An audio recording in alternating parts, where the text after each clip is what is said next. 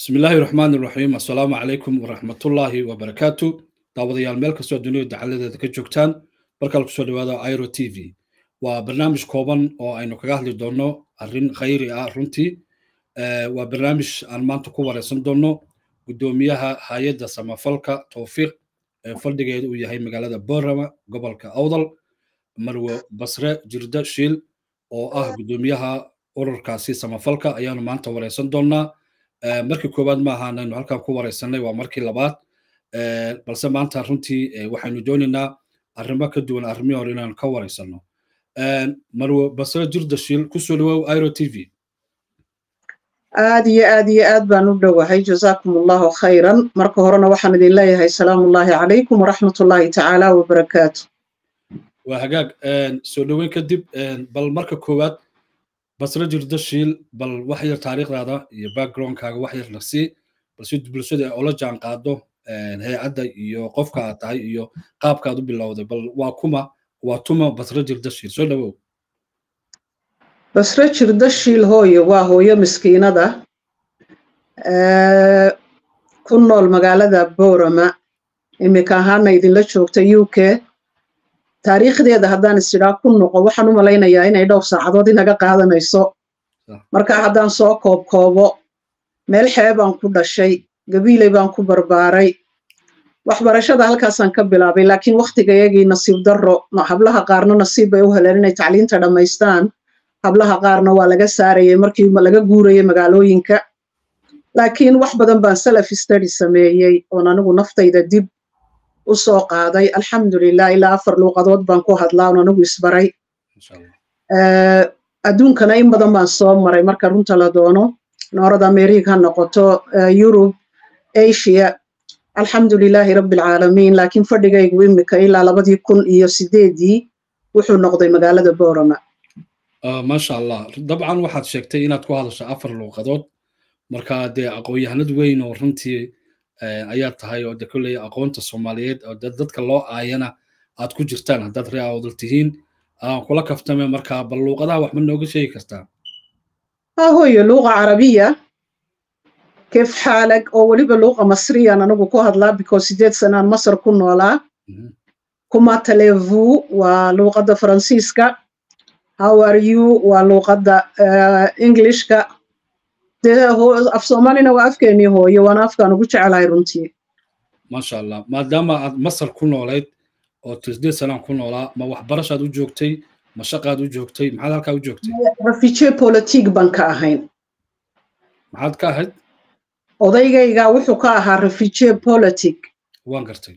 Ahe marka saasaad joogtay oo dee markaa halkaasaan alxamdulilah luuqa carabiya diinta ilaahay wuu noo roonaa markuu waddankaana geeyey alxamdulilah waayahay faransiisna waad ku hadashay marka waxaan u malaynayaa reer jabuutina waad ahayd.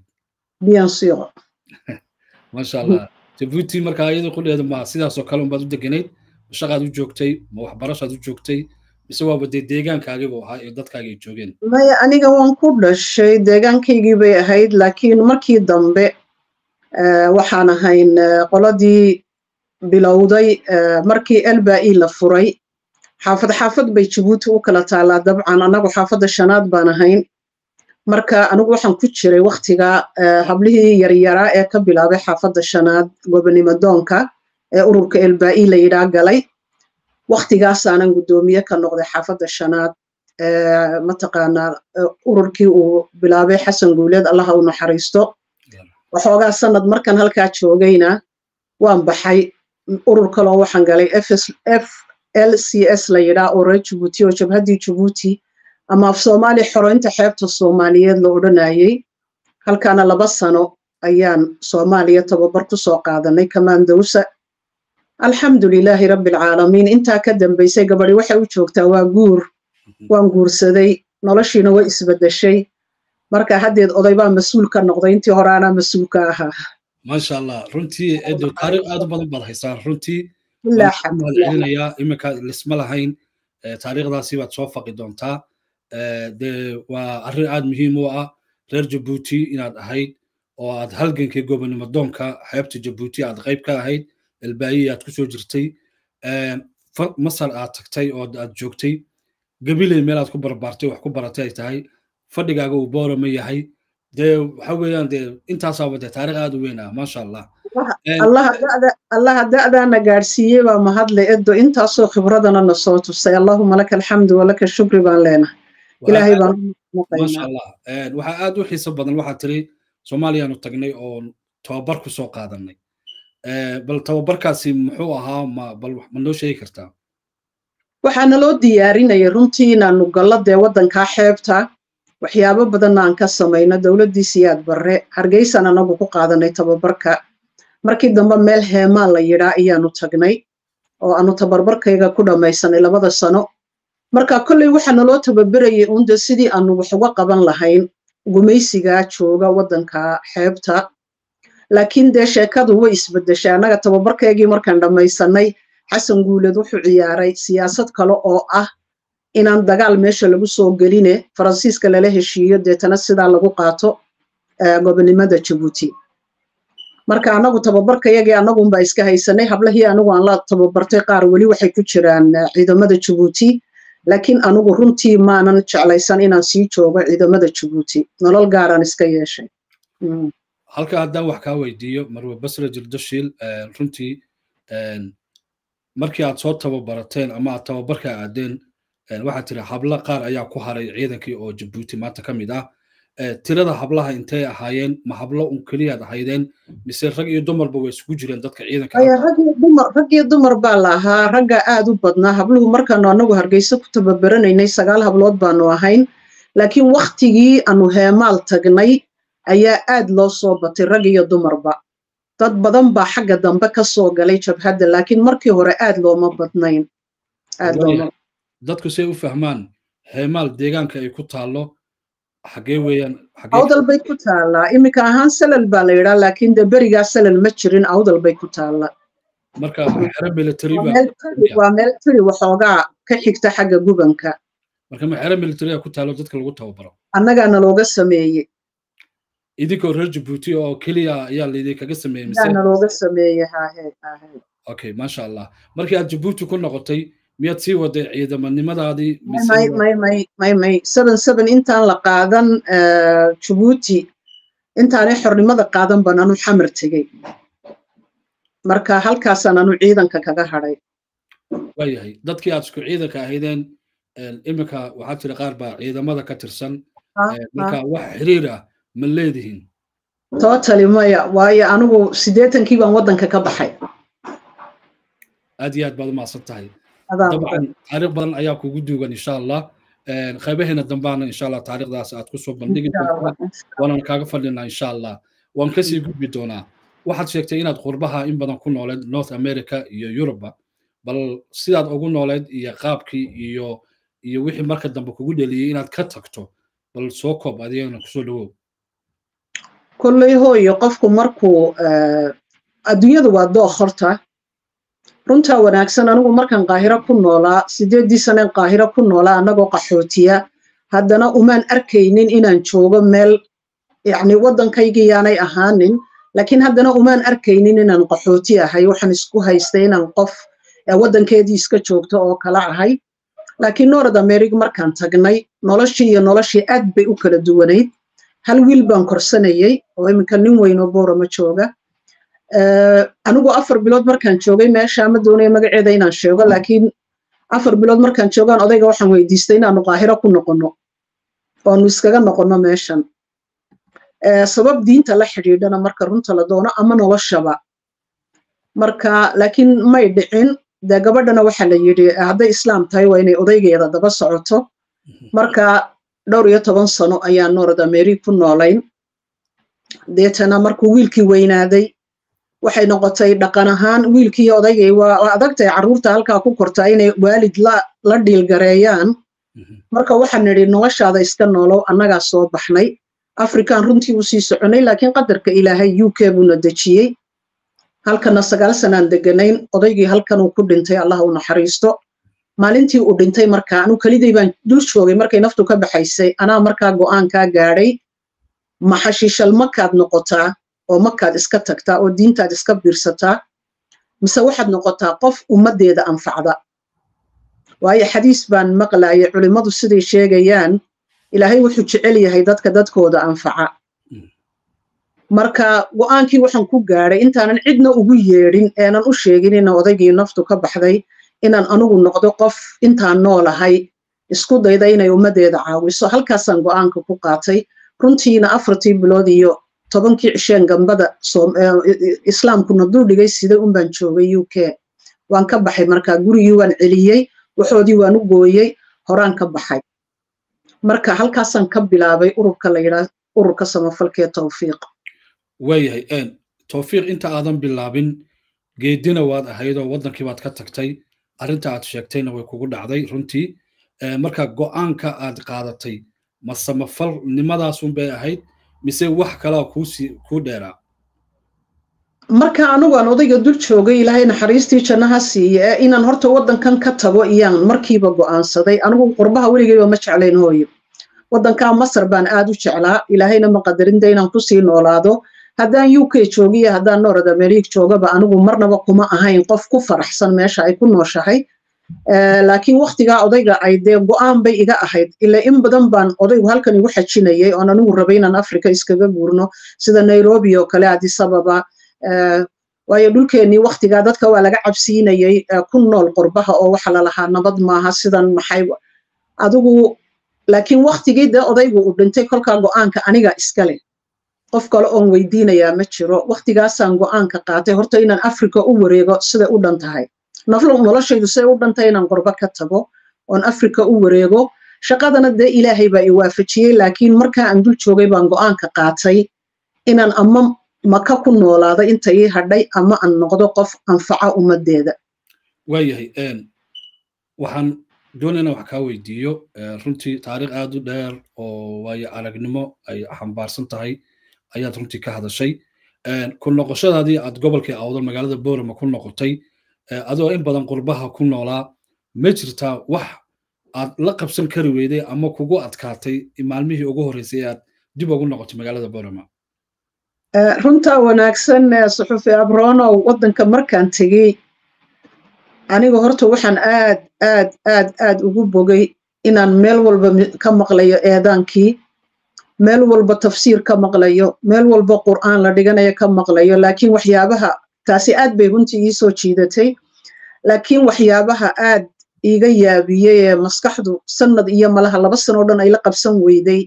Waxa weeyaan ummaddu waxaan garanayaa boroma waxaan soo maray sagaal iyo toddobaatankii magaalo yar bay ahayd aroortii foox la wada shito aqlada hortooda la wada fiiqo aad u udgoon marka jawiga aroortii la tooso.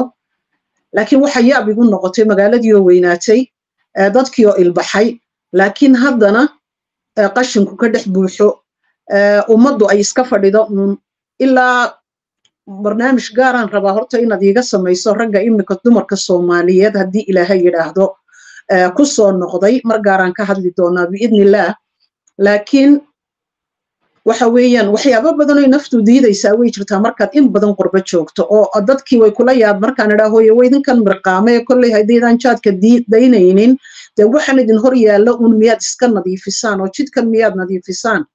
Ayaa waxa lagu leeyahay waa islaan qorbo ku soo waalatay oo yaa lacag nagu siinaya meesha markaanu ka shaqaynayno.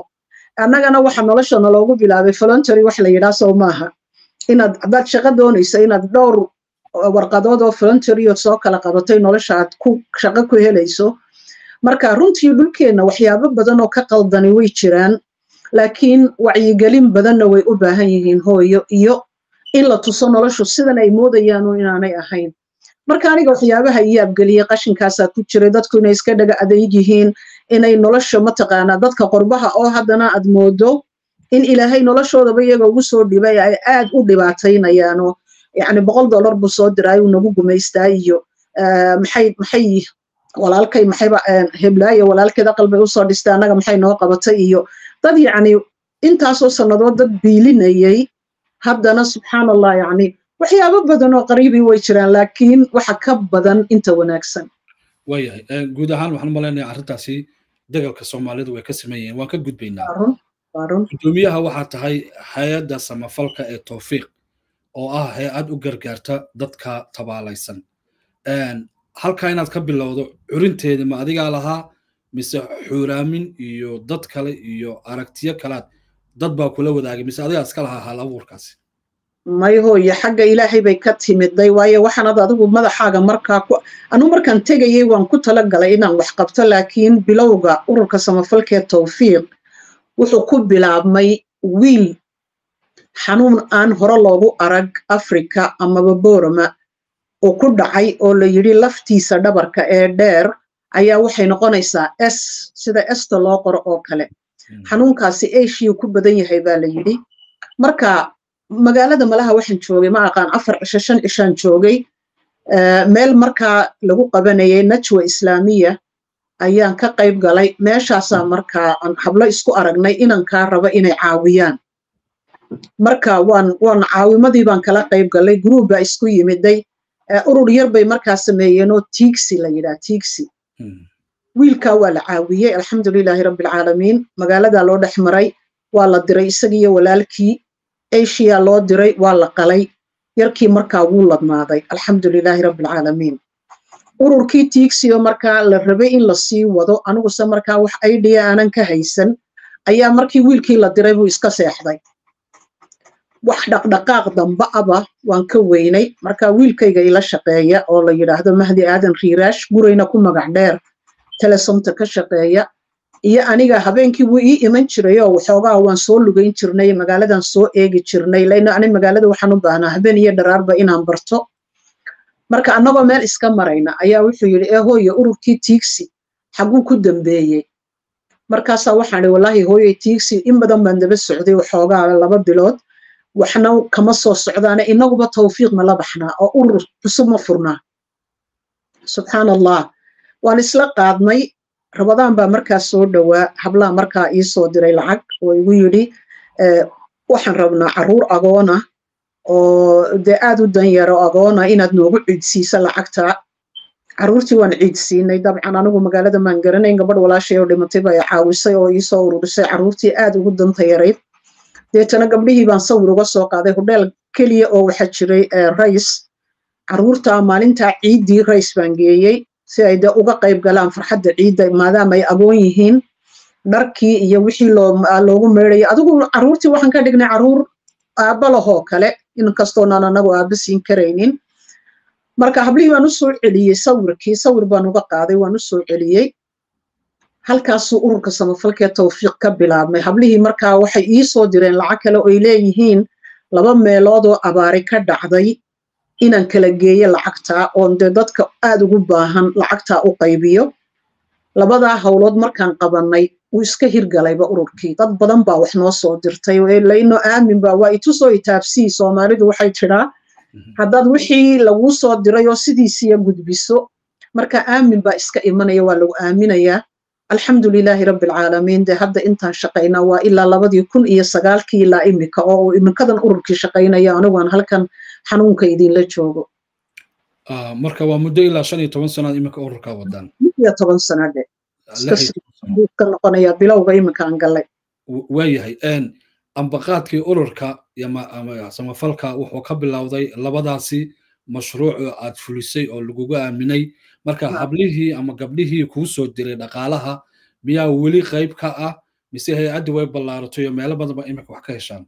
Maya wallaahi way ballaaratay hooyo way ballaaratay bisha ramadaan oo kale. Australia horta toos bay australia hablo joogaan noo caawiyaan oo gobolka u dhashay. Macalinka qur'aanka ardayda iigu dhiga koob iyo labaatan hablood iyaan haystaa oo agoon iyo danyar iskugu jira. Oo meeshii annagu aan miitinka ku qabsan lahayn dee miitinka annagu hayad ma nihin waxaanu hun dad soomaaliyeed hooyo soomaaliyeed inamo soomaaliyeed dumar soomaaliyeed oo la shaqeeya oo markii ay wax arkaan u bandhiga ummadooda soomaaliyeed. Waan jeclaa inaan hay'adda sida hay'adaha loo isticmaalo aan ka dhigno laakiin ma rabno in annaga nala xukumo. Anigu waxaan rabaa inaan annagu isxukunno inay cidina xukunto ma rabo. Oo waxyaabaha qaar naloo dira gabadh la guda iyo gabadh la kufsada iyo balaayo iyo abiyuus iyo waxaa in naloo dira hay'aduhuna badi runtii waxa weeyaan iyagaa ku gaarigaraynaya. Marka anigu waxaan rabaa maadaamaan qof muslin ahay qof weyn ahay waddan muslina aan joogo inaan intii itaalkeena gabdhaha gabdhaha walayno wiilasha aad baa prioritiga loo siiyaa gabdhaha agoonta ah ama masaakiintee danyarta ah inaanu diinta barno laino annagu dad islaamaan nahay. Halkan ku hoyanaynaana waa aakhiro. Marka habla koob iyo labaatan hablood iyaanu meeshii xafiisan ka dhigan lahayn meeting roomka waxaan ka dhiganay malcaamad qur'aan. Marka maasha allah tabaaraka araxmaan ilaa lix hablood baa hadda qur'aanka noo dhameeyey macadyaan geeyey oo dee dadka yagaa unba soomaalida yadaa unba waxna siisa hadday macad ka bixinayaan haddii qof buka la dirayo haddii guri la dhisayo haddii haddii haddii soomaalida yadaa unban anagu ku dhex jirnaa annagaa diidnay inaanu hayad kale faraha la gallo waayahay marka koob iyo labaatanka hablood iminka aad tiri qayb ka mid ah dee maasha allah waa horumar weyn bay sameeyeen. Da'aadooda maad inoo sheegi kartaa iyo intii ay la ekaayeen iyo intay hadda kala jiraan. Way kala way iminka hooye nooc walba qaar way ka baxeenba malcaamadda iyadii macadkii bay dhameeyeen jaamicadaha ii dhigtaan. Ilaa iminka saddex baa jaamicadda igu jira qaar weli macadkii bay ku jiraan qaar malcaamadda iyadii bay ku jiraan. Da'ahoodu hadde inta ugu badaneen anagu qabanaa waa toddoba ilaa sagaal toddoba jir ilaa sagaal jir baan ka bilownaa dee kuwii laakiin aan bilaabay toban sano ka hor maasha allah maanta waa hablaha jaamicadaha galay intaana waxa ka bixisa uun ma odran karo raacawdal oo keliya markaan wax soo bandhigo ummadda soomaaliyeed oo dhan meeshay doonta ha joogta ayaana soo caawisa waayahay qorshaha ma idinkugu jirtaa inaad gogasha ballaadhisaan oo aad dad badan oo maanta gobolkii awdal danyar ah agoon ah ayaa dadkiiba soo badanayo shaqa la'aantiibaa badatay. Marka qorshaha ma idinkugu jirtaa inaad ballaarisaan oo aad bulshadana u soo bandhigtaan. Haddii ilaahay hooyo haddii ilaahay horta haddaan anigu taydii noqotoon dhintana kolley dad tababartay oo mataqaan aamina oo uu mahdi aadan riiraash ugu horeeyo ayaa jooga meesha waan u soconayaa ururkani xataa hadday aniga taydii noqoto biidnillaahi raxmaan laakiin waxyaabaha iminka qorshahayaga ku jira u weyn waxa weeyaan lix iyo toban sanaan kiro ku jirnaa runtiina halkan anigu xafiis iyo mataqaanaa meel ururka u gaara ka samaysan lahaa ilaa dhowr iyo labaatan guri oo guryaha ummadduba gasho oo kale baan dadka masaakiinta u weydiinay ummadda soomaaliyeed anay u soo dhiseen. Marka taayada waan iska ilownay bay ahayd. Waxa noo muuqatay uun qofkan baahan ama qofkan waalan ama qofkan gaboobay horta bal meel uu dhaxanta ka galo inaan ummadda u weydiino oon u dhisno ilaahayna uu nagu caawiyey allahuma laka alxamdu walaka shuk marka annaga hadda waxa noogu noogu weyn ee miiska noo saaran waxa weyn horta meel uu ururka samafalkee tawfiiq leeyahay inaan u dhisno biidni illaahi raxmaan si ana haddii aniga taydii noqoto anugu hadda ummad baan ku xidhanahay qof qorba joogaan ahay ummad badan baan ku xidhanahay kirada iyagaa soo bixiya hablaha yaryareen wuxu dhigna brigooda iyagaa soo bixiya ciidda iyagaana soo caawiya. Laakiin waxa laga yaabaa inankaygu waa qolqoljooga qorbajoog maaha mas'uulka meesha ka ah iyo inta kale la shaqaysa. Marka waxaan ilaahay ka baryayaa intaanan dhiman idinkuna ducada igu soo dara inaan horta bal meel uu tawfiiq leeyahay aan uga tago. Wixii intaa ka dambeeya dee way barteen sida ummadda soomaalida wax looga qaado sida shaqada loo wado sida loo caawiyo danyarta. Way socon doontaa ta noogu weyni waa taa waanan jecelnay hooye inaan soomaaliya oo dhan gaadhno maaha soomaali jaarkeenna soomaaliya oo dhan inaan gaadhno oon camuud foundation oo kale ilaahay naga dhigo. Aad baan ugu duceeyaa ururka waayo ummadda haysataa ummad waxay tahay maasha allah tabaaraka raxmaan fahantay marba meesha baahidu jirto inay tagaan. Runtiina qofka wax caawinaya maaha inuu meel un ku koobnaado oo ama gobolkiisa ku koobnaado ama magaaladiisa ku koobnaado waxa u khayr badan inuu hareerahana gaadho oo uu meel walba soomaaliya ka gaadho. Ha aad bay noogu jirtaa hooye hadduu wadku nagu simo. Insha allah miradhada ugu dambeeyaan soo gaarnay ee barnaamijkeena kooban waa maxay baaqa aad u dirayso bulshada ku dhegaysanayso baaqa soomaaliyeed ee meel walba jooga qorbe iyo mataqaanaa aduu qolqol iyo iyo qorbaba waxaan leeyahay lix iyo toban sannadood idinkaana soo waday waayo haddaydaan weliba weliba waxaan leeyahay qorba jooga qorba jooga ilaahay khayr badan ha siiyo. Wax kastoon soo bandhigno dadka ka soo jawaaba waa qorba joog waana dumar bay u badan yihiin. Suxufi abronow ceeb afka lagama dhowro. Inkastoy ragno ku jiraan oo aanan raggu kuma wada jiraan odhanaynin laakiin haddana badi badi badi waxa naga soo naxa waxana soo caawiya. Ee ummadda aan soo bandhigno soo caawiya waa dumar marka laakiin maanta baaqaan diraya waxa weeyaan markaan gudihii joogay ummado badan baan la hadli jiray. Hadda waxa la leeyahay habartii qor bay joogtaa. Waa iisi siday lacag u helaysaa. Wallahi iisi maaha haddaa ka daran markaan halkii joogay baaba la ii soo naxayey waxaan ummadda u dirayaa bishaynu joognaa waa bishii rajab. Shacbaan baa ku xigta rabadaan baa ku xiga. Runtiina annaga hawsha noogu weyn waxay nagu dhacdaa bisha ramadaan. Weliba tobanka dambe xoog noogu sii dhacdaa waayo waxaan bilownaa waktigii la soo ururin lahaa carruurta agoonta la ciidsiinaya danyarta raashinka bisha kowdeeda ramadaan kowdeeda haddaanad raashinka biliaadanka u dhigin dee waxaad u tartay baa iska yar waayo dadan waxay ku aftiraanba haysan oo soomayaa jira. Marka baaqaan u dirayaa ummadda soomaaliyeed meeshay doonaanba ha joogaane. Maanta soomaali oo dhan oo imaqashaa iska daa wax ka badan one dollar keliya accountka halkaa noogu qoran aad soo dhigi doonto ama saadka hadday noogu tuuraan waxaan u malaynayaa inaanaan dibba u baahaneen dee. Ee waxaanu doonaynaa aanu qaban lahayn haddaan meel dhisan lahayn haddaan meel iibsan lahayn. Meelaha iminka centerkeed istiraahda aad iibsatid oo waxaad ka dhisatid runtii waa waa dhul aad waa dhul aad u qaaliya hooyo. Ilaa saddex boqol oo kun baa la marayaa. Magaalada boorama gudaheeda centerka meelaha qaar iibsa haddaad istiraa laba boqol baa jira boqol baa jira toddobaatan baa jira waa qof iyo halkii ku soo hagaagta marka baaqa aan dirayaa waxa weeye mar walba horta boqorkaa la baryaa boqorkaana dadka sikhra ilaahay waxaan ka baryayaa inuu ummadda soomaaliyeed ummadda baahan oo dhan annagoo keliya maaha oo ducada anigu isku soo koobi maayo iyo ururkayga waxaan leeyahay ummadda baahan oo dhan ee waddankeennii ku nool especially bisha ramadaan iyo bisha ka horreysa aad iyo aad iyo aad ha loo xasuusto. Nin waliba yaanu odhanin ehelkaygii ee inta kalena ha lagu daro aad baad u mahadsan tahay.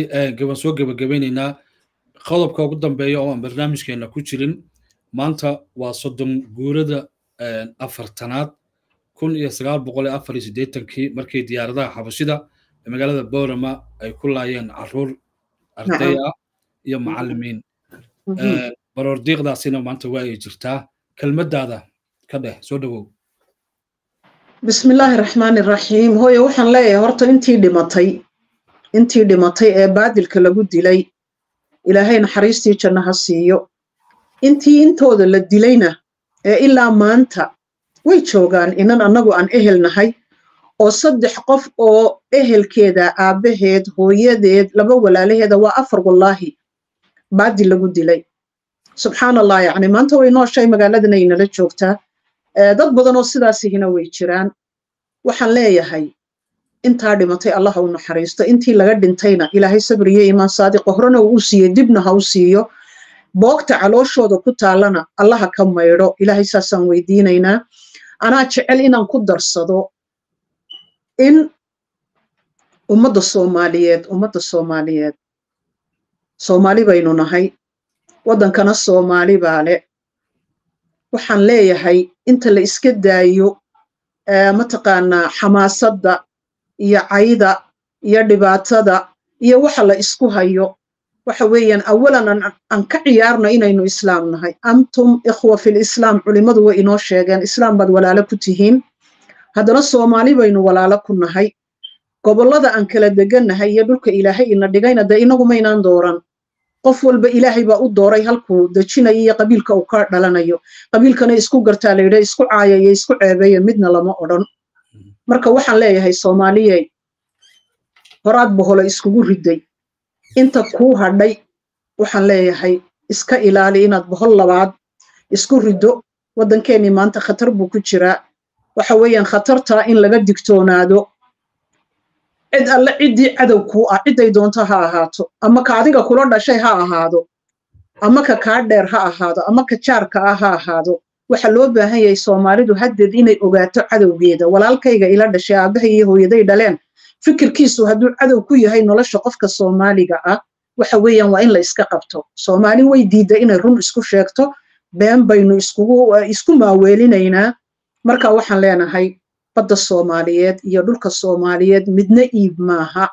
Gaar ahaan waxaan leeyahay reer awdal iyo reer salal iyo reer gabiley because anaa gabiley ka soo jeeda ummad badan baa gabiley ka soo jeedi jirtoo la yidhaahdo bahasamaroon marka waxaan leeyahay ummadaha maahmaa horaa tiri tawsnila u galgasha tolna wuu irkiyaa. Soomaali maanta way noo kacday. Hadday noo kacday waxa weeyaan inaan annagu u horrayno hadday difaac dhul noqoto hadday hadal noqoto maxaa looga baqayaa kamarada? Ilaahay baa laga cabsoodaa bashar lagama cabsoodo. Wixii xaqaaga ana waa la soo ritaa. Xaqdarro waxaad ku haysatana waa la dhiibaa. Soomaali waa inay kala soomaali waa inay diinta ku noqoto. Hadal waxaan ku xidhayaa hooyo. Soomaali waa inay kitaabka ilaahay iyo sunnada rasuulka ku noqoto calayhi salaatu waalihi wasalam inta siday culimmadu noo sheegeen. Haddaan rabno inaan badbaadno waayo waxa keliyan ku badbaadi karnaa markaad aayad qur'aanood garanaysa aan kuu akhriyeed aan ku idhaahdo ku joogso. Markaasaad iga joogsan kartaa laakiin inta calmaani la wada yahay ee nin waliba beriis daba cararaya ama magac ama mansab waxa weeyaan soomaali horay u eeday allaha naga koriyaan leeyahay hooyo raallina ahow de waan iska yar marmar baan boodaaye si wanaagsan. Aad iyo aad baad u mahadsan tahay. Maasha allah khayr ku siiyo. Halka ayaanu ku soo afmeeri doonaa barnaamijkeennii koobnaa oo ay nooga soo baxeen taariikh badan oo aynan filin runtii dad badanna ay u riyaaqeen oo onlineka ku jira. Gudoomiyaha ururka samafalka towfiiq hooyada dhafaysalow hooyada ururka samafalka gudoomiye kama helo. Samafalka towfiiq oo xaruntiisina ay tahay magaalada boorama aad baan idinku mahad celinayaa qoladii maxaa la yidhaahdaa airo t v iyo faysaloo markii labaad aniga iga waraystay airo t v ilaahayna waxaan ka rajaynayaa hooyo bal intaan noolahay inaan hablaha soomaaliyeed iyo ragga soomaaliyeed bal t v aan wiiggii mar kala hadlo haddii ilaahay yidhaahdo. Oo aan khibradayda bal uga faa'iideeyo intii rabto inay faa'iidaysato haddii ilaahay yidhaahdo.